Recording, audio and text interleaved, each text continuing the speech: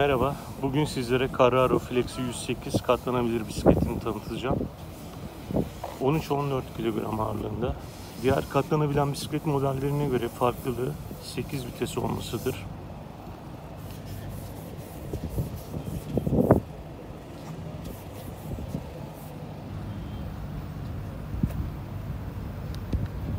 Katlanabilen bisiklet modellerine ben kaldırım bisikleti olarak da tanımlıyor, tanımlıyorum. Neden e, bu bisikleti tercih ettiğimi anlatacağım. Şehir içi bisiklet modelleri arasında araştırmalar yaptım. Büyük bisikletleri özellikle tercih etmedim.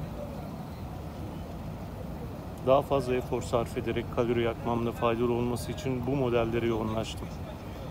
Hemen belirteyim büyük bisiklet modellerinde önerebileceğim Rock Rider T500 modeli 9 arka vites dişlisi olan modelden bahsediyorum. Geçen yıl e, kullanıp satmıştım. Katlanır e, bisiklet modellerinde BTV modelini stoklarda dahi bulamadığım için kısa araştırmalar sonucunda bu modelin e, ön plana çıktığını gördüm. Carrara modelinin.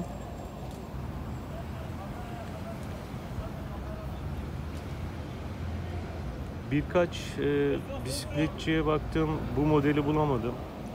Bir iki hafta sonra gelecek, birkaç ay sonra gelir diyenlere rastladım. E, Carrara modelini bulduktan sonra da eksiklerine bakmadan aldım. Mesela hidrolik disk frenli modelini bulamadım. Yani normal fren aksamı olan, e, güneş ışığı çok fazla yoğun. O yüzden ekranda ben herhangi biraz gölgeli görüyorum ama umarım öyle yansımıyordur çekimlere. Evet.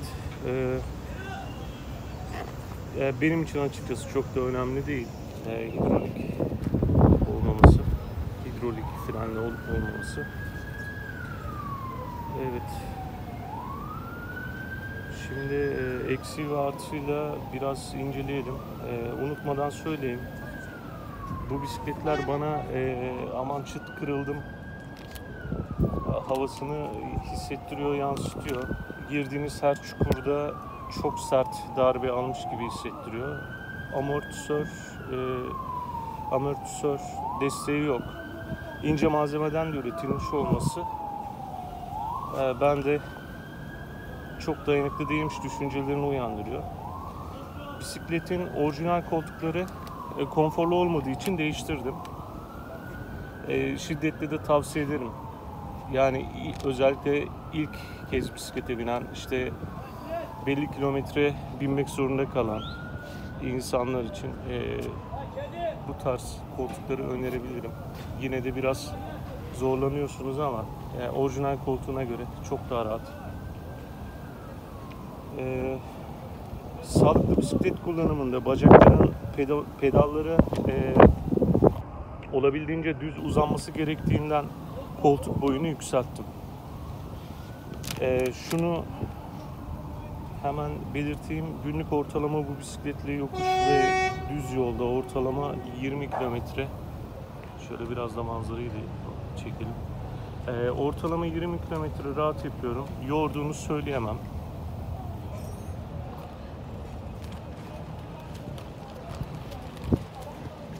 Ee, eğer dikkat çekmekten de hoşlanıyorsanız e, rahatlıkla bu katlanabilen modelleri önerebilirim arkadaşlar. Ben e, fazlasıyla bunu e, yollarda görebiliyorsunuz, hissedebiliyorsunuz. İnsanların bakışları üzerinizde oluyor. E, videonun sonunda katlanmış halini atmaya çalışacağım fotoğraf olarak. E, yorumlara merak ettiğiniz sorularınızı yazabilirsiniz. Ee, hoşçakalın.